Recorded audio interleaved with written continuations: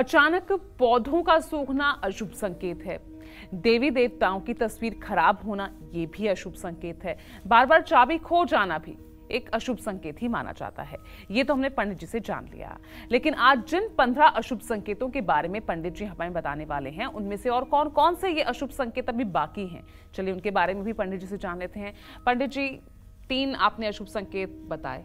अब बाकियों के बारे में भी जानकारी दीजिए।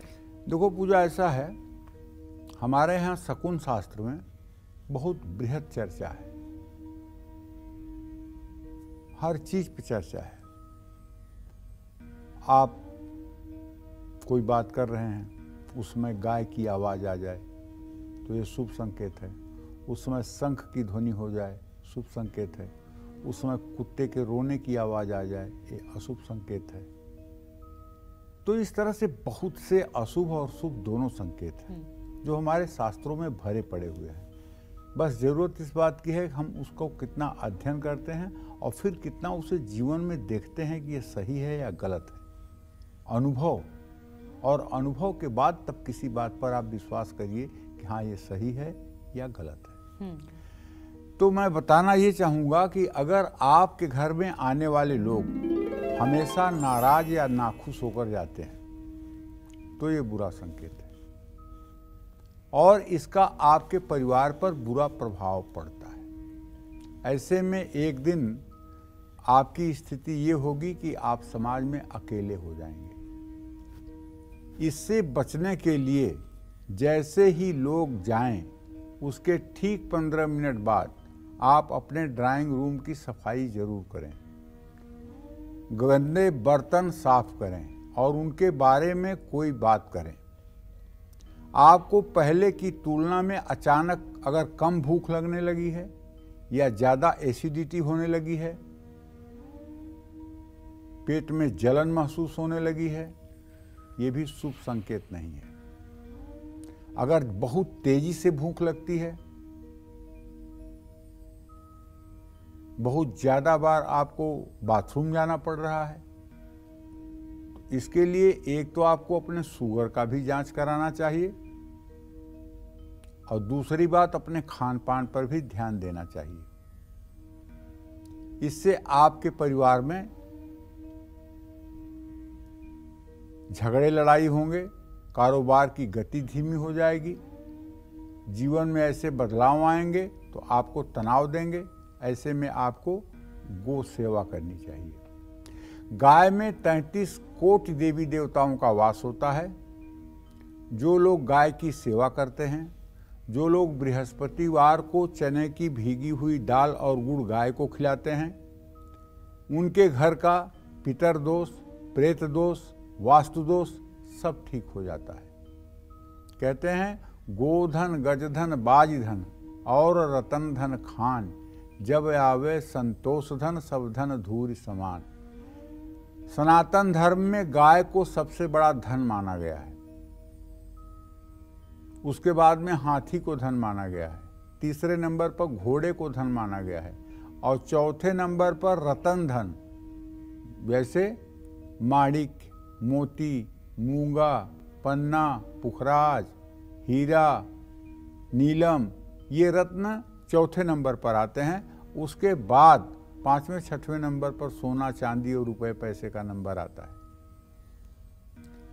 अगर आपके घर में ऐसा है तो आपको कम हल्दी डालकर खाना खाना चाहिए। सूर्य को हर रोज जल देना चाहिए और अपने पूजा स्थान में खड़े होकर पूरब की दिशा में मुँह करके ज़ोर ज़ोर से बोल करके 24 बार गायत्री मंत्र का उच्चारण करना चाहिए। ओम भूर्भुव स्व तत्सवितुर्वरेण्यम भर्गो देवश्च धीमहि। धियो यो न प्रचोदयात। ऐसा आप बोलें कि आपकी आवाज़ सारे कमरों में चली जाए।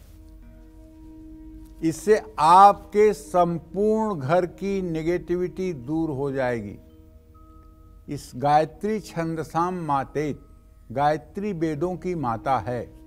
और गायत्री के ये 24 अक्षर अपने आप में बहुत ही सिद्ध मंत्र हैं। इन 24 अक्षरों को जहाँ भी बोला जाता है, वहाँ से अदृश्य आत्माओं का भय समाप्त हो जाता है।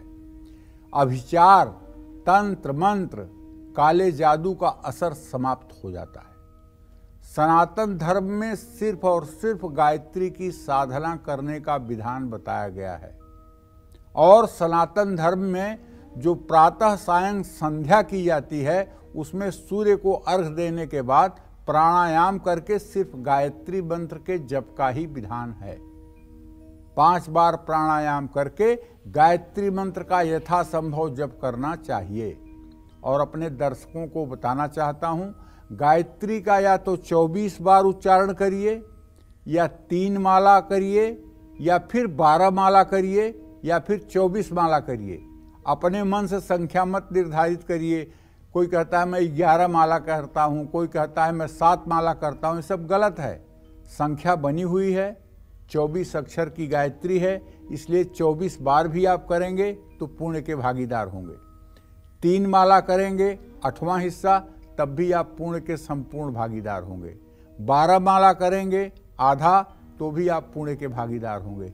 चौबीस माला करेंगे तो गायत्री माँ की साक्षात कृपा आपके ऊपर बरसेगी। जो लोग 24 माला गायत्री मंत्र का रोज जप करते हैं और सात्विक भोजन करते हैं और सदाचार पूर्वक जीवन जीते हैं, उनसे प्रणाम कर लेने मात्र से सामने वाले व्यक्ति का पाप ताप नष्ट हो जाता है, इससे बड़ी क्या बात होगी? जो व्यक्ति 24 बार गायत्री मंत्र का जप करता है, अगर उसे आप एक गिलास पानी पिला दीजिए तो आपके दुर्भाग्य नष्ट हो जाएँगे। आपके ऊपर जो काली छाया है, वो समाप्त हो जाएगी। ऐसे लोग इस कलिकाल में मिलने बड़े मुश्किल हैं। और जो लोग साधना रत हैं, इस तरह की साधना कर रहे हैं, उनके तो दर्शन मात्र से जन्म जन्मांतर के पाप नष्ट हो जाते हैं। बृहस्पतिवार को केले का सेवन न करके गुरुवार को केले का दान करना चाहिए। जो लोग बृहस्पतिवार को एक दर्जन केला ले जा कर के किसी धर्म स्थान में दान करते हैं, उनके घर में कभी भी पितर दोष का कुपित प्रभाव नहीं पड़ता है और पितर संतुष्ट रहते हैं। जय माँ विंध्यवासिनी